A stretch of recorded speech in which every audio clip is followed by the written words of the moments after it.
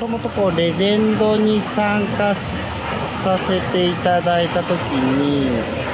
いつかは出したいなっていうのはあってで今年の自分のタイミングと周りからのプッシュをいただきまして出そうかなと思いました、テーマみたいなのが一人の少女の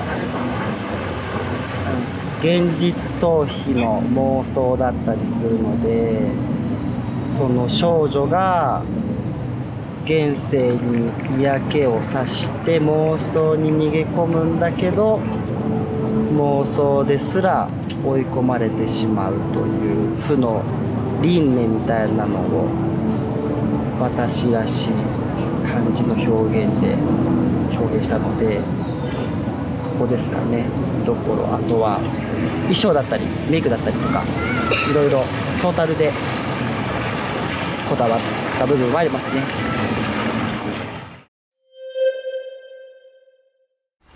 今回初めて予選も挑戦して本戦に出させていただけるんですけどあんまり硬くこうならずなん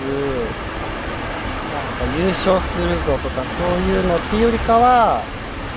みんなで作り上げてきたこの作品をこう皆さんにお届けできたらなと思います。えレジェンドユニバース出展コレオグラファーの三田です。よろしくお願いします。えっと、今回私の作品では、えっと、少女の白日夢というテーマで作品を作っております。えっと、レジェンド初出展ということで、私なりのエンターテインメントをお届けできたらなと